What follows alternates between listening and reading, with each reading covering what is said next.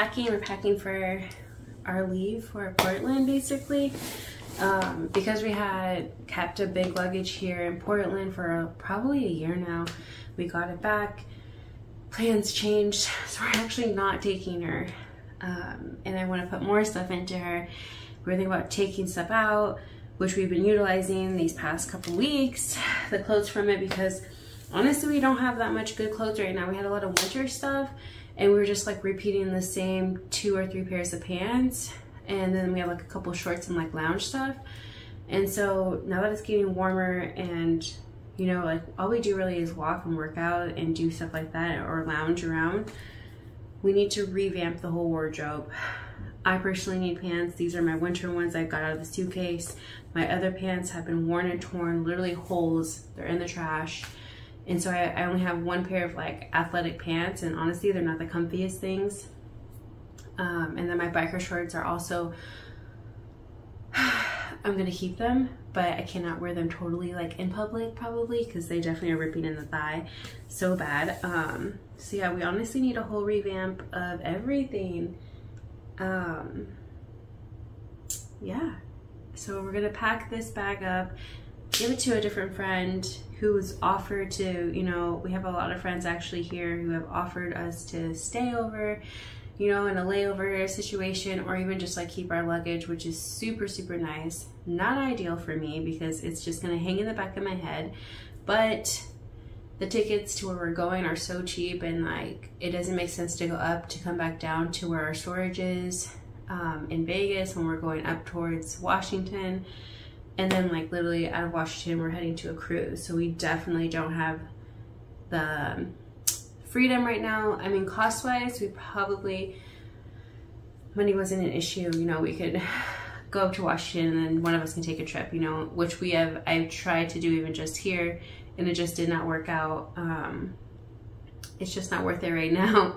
So yeah, we're going around to the cruise after that stay and we don't want to be carrying all this stuff. There's no room for it. There's no point in it. We don't need this stuff right now it's really winter and stuff like people have gifted us that honestly need to go to storage and wait for like a home. um, so yeah, I am trying to get down to my one bag situation. It is so hard. I went from a duffel life, one bag, to a duffel is not my jam, to I really want to get to the backpack game. This has been our second bag, just a small carry-on but has to be checked because we've been packing like big size lotions and shampoos because we think it's more cost effective. If we buy the bigger one, it'll last us longer and less expensive sometimes. But we've upgraded to the bars and more like natural products. So this is like shampoo bars, shampoo conditioner bars. Um, and just trying to get like, this is our toothpaste now, smaller condensed. We don't have to check our bags for bigger liquids and also it's more sustainable, which is great for us. So I'm really trying to get back to the one bag. One bag. I actually, if I get into one bag, that would be like the main goal, but I haven't really gotten down to just a backpack without like a side tote. Usually we have like two totes or, which has been also a problem. And now the roller, so we're gonna fix it all Yeah, we're trying. Laundry's almost done and then we can keep going.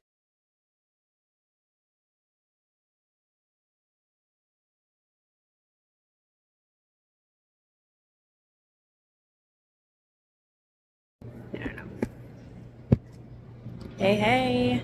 All right, we're at the train station and we are on our way. We're leaving Portland. It's been what, like a month and some change now? Maybe two? A month and five days. yeah, month and some change. And it is 7.30 in the morning, April 27th, and we are out of here. Our train comes in about 20 minutes, and we're gonna head up the up the coast, basically. Um, so yeah, I'm really excited. The train station looks really good, actually. Pretty clean, smells clean, it's great, I love it. We've been here a couple times, but it's been a while, so I don't know when we're gonna come back. Um, we did leave something here, but that's okay. And yeah, we're gonna keep on keeping on. Also, I'm visiting family probably because we are going to Washington State. So the train ride is really fast. It's only about two and a half hours. And so it'll be quick, easy, and super fun. Um, and yeah, and I'll be awake. So yeah, we're gonna have a good train ride. I'll show you guys when I get on.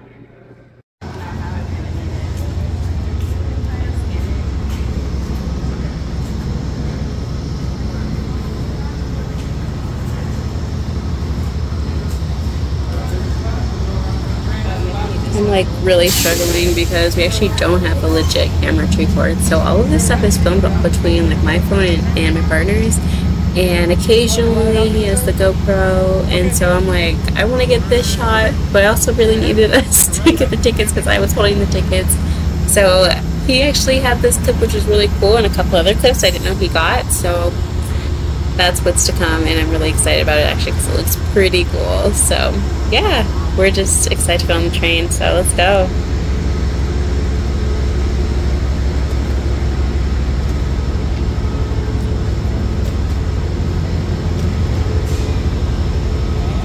Working on his angles, but I'm actually vlogging on my camera, which you see here, for our couples channel. So if you guys want to check that out, it's R&R Ventures. Um, we're on YouTube, we're on Instagram, TikTok, all the above. I'll probably have the link somewhere in the description below. So check that out because it's kind of, you know, just a different perspective, just traveling as a couple versus just like my normal vlog.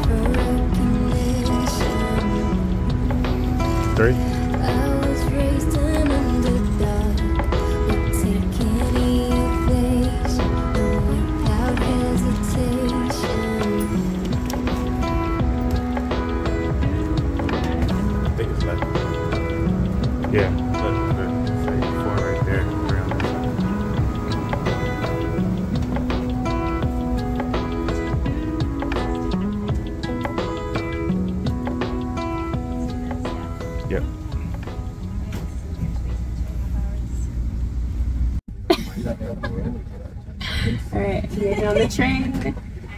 Well, it's different than the one we used to be on before, but it's still really good. And in this moment, I'm wishing I had a mic. But we just started moving, and we should be there in two and a half hours. I don't think we walked over this one, Rashawn.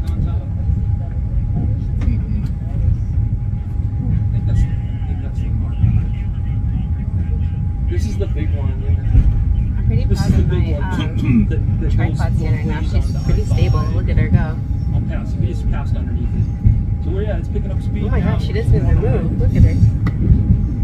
Check out my stand. Good morning, ladies and gentlemen. This announcement is coming from Food and Beverage. If you just joined us here in Pino's breakfast sandwiches, ham and Swiss or turkey and Swiss sandwiches, grilled cheese, cheeseburgers, hot dogs, Starbucks hot drip coffee, orange juice, cranberry grape mixed juice, I bottles of message after remove card, sometimes Oh, like this trip is supposed to be really fun. My sister's having a baby, and I'm really excited to be back home. But this is the first time that I'll be home since both my grandmother and my mother have passed, and so it's very bittersweet for me. I'm just like feeling a lot of emotions. I don't know like really what to expect. Um, it was actually it's just a lot. It's a lot going on, but we're going to make the most of it. And I'm really excited to meet and just see all my nieces and nephews too.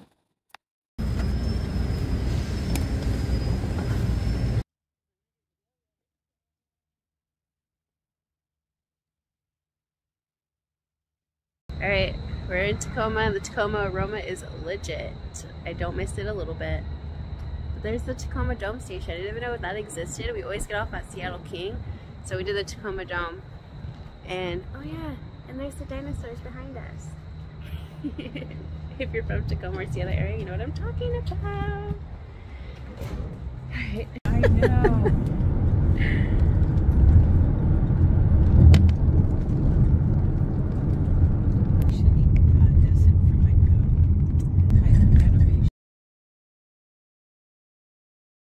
so we went on a walk and we actually got a couple grocery items because there's not much here for just like meal meals um, as in like protein stuff and like actual meal right now for dinner.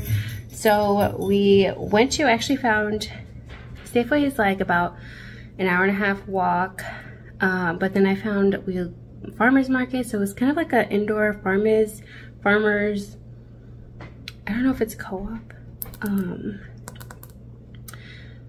it's really cute. I don't know how to explain it. It's basically a farmer's market though. And they're like seven days or six days a week. Love it. Small vendors, all local.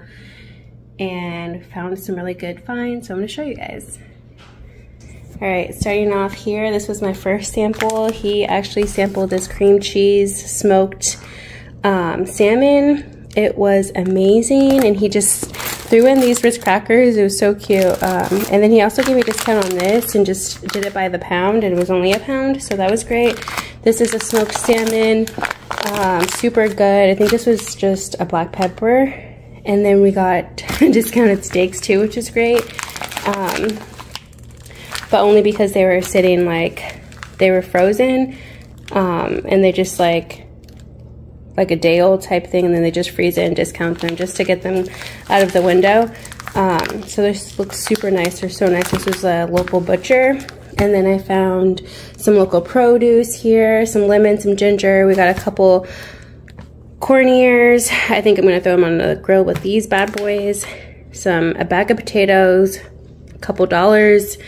Also the carrots were like a couple dollars a dollar for a green pepper, which is crazy, but just got a green pepper and then some strawberries that smell as great as they look, honestly, so good. And then I found some local tea. I really wanted to um, do some fresh teas. I love loose tea. And so this one is uh, Sunny Citrus. These ones are more of the Rooibos, I think is what they're called. And so they're decaffeinated. They're just really a lot of herbs and fresh fruits dehydrated and they're gonna be so good as an ice like tea vibe. So I really wanted to do that and that's what we got today.